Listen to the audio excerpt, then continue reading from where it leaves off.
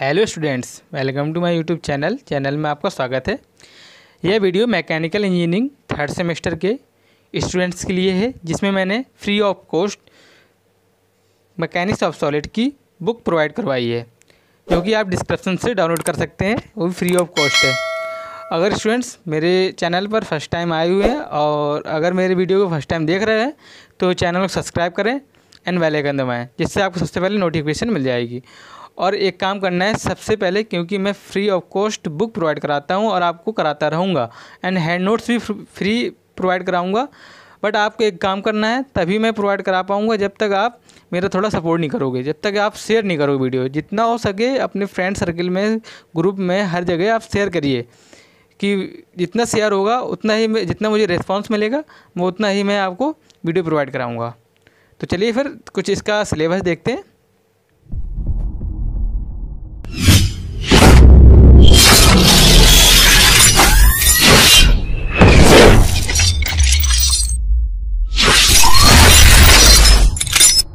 Guys ये हमारा syllabus रहा मॉस का, जिसे मैकेनिक्स ऑफ़ सॉलिड कहते हैं।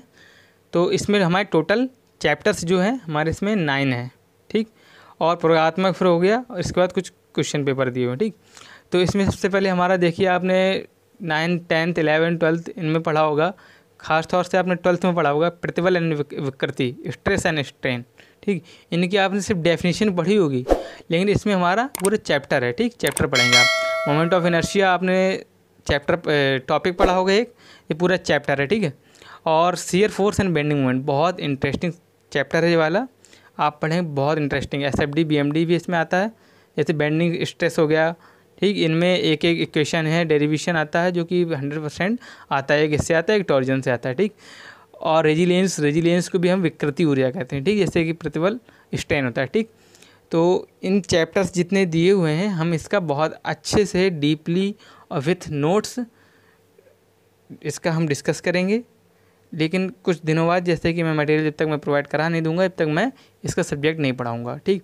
तो जैसा स्टूडेंट अगर आप अदर वीडियो भी देखते होंगे अदर जैसे यूट्यूब में तो उसमें ये होता है कि चलो जल्दी जल्दी पढ़ा देते हैं, बगैर ऐसा।